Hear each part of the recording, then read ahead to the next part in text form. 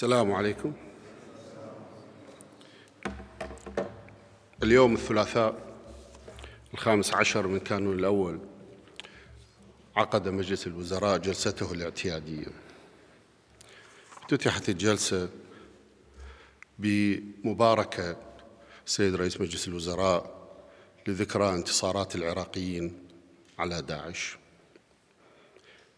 تزامن هذا الحدث المهم الذي شارك فيه العراقيون جميعا قوات وشعبا مع انطلاق عمليات جهاز مكافحة الإرهاب ضد بعض الخلايا النائمة لداعش.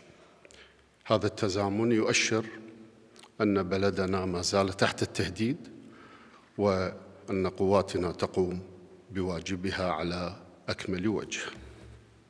ثم انطلق المجلس في أعماله الاعتيادية التي تبدأ عادة بتقديم تقرير عن الوضع الصحي وقضية كورونا.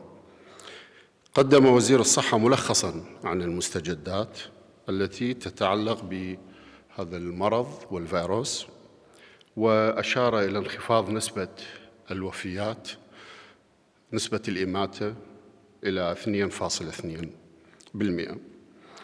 هذه النسبة أشرناها أسبوعا بعد أسبوع بانخفاض مستمر والحمد لله.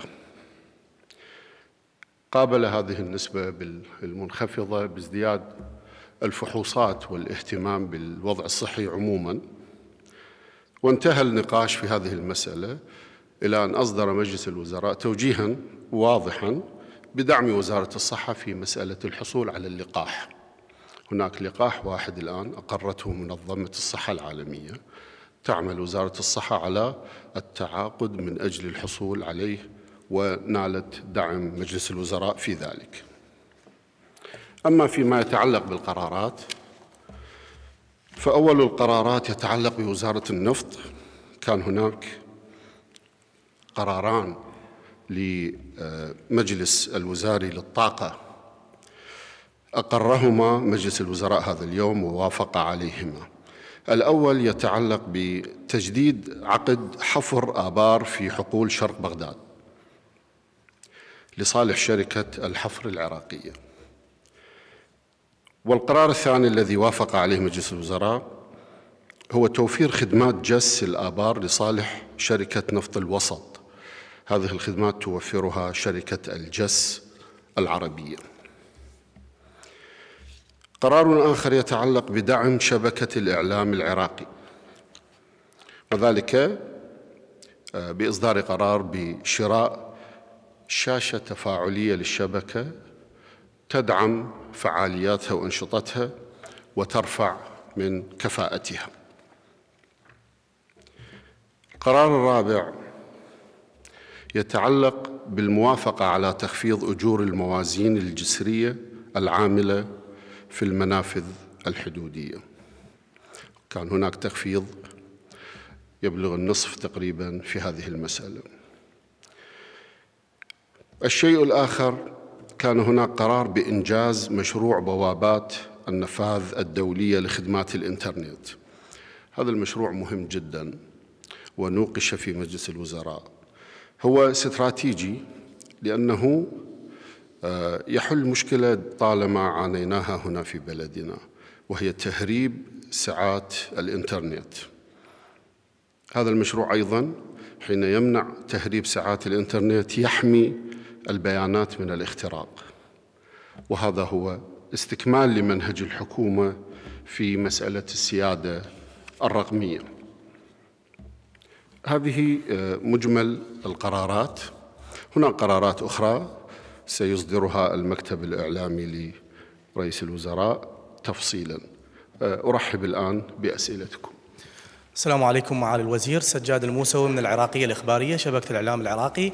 طبعا سؤالي بعد ربما تحديد جلسة السبت المقبل جلسة طارئة لمناقشة والتصويت على موازنة 2021 هل تجاوزت الحكومة العقبات الثلاثة العجز المالي اتفاق الكتل حصة الإقليم في هذه الموازنة؟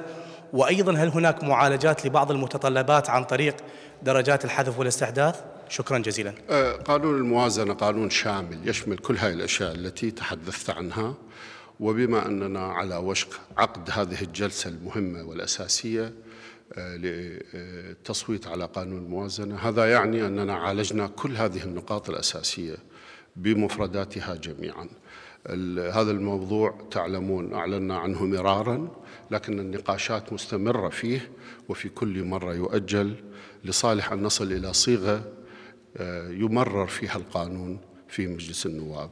وإن شاء الله نحن على وشك عقد هذه الجلسة لتمرير القانون.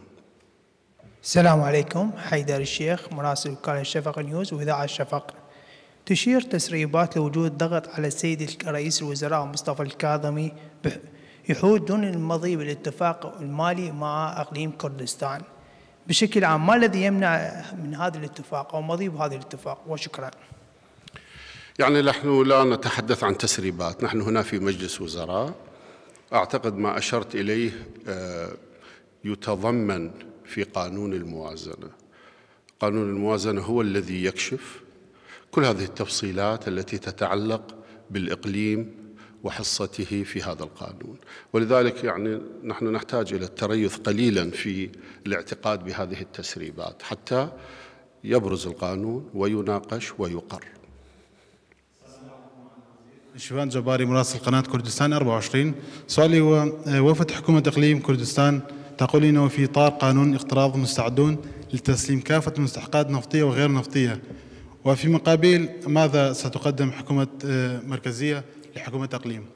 آه، أنا قلت سابقا والحكومة أعلنت أن هناك التزاما من حكومة الإقليم بقانون الاقتراض وهذا القانون هو المظلة التي ستحكم كل الاتفاقات فيما يتعلق بالحصص والالتزامات على الجانبين جانب الحكومة المركزية وجانب حكومة آه، الإقليم.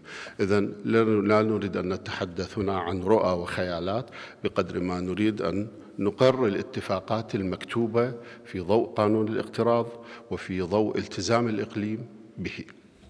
السلام عليكم. بالنسبة وارتفاع هل هذا الارتفاع هو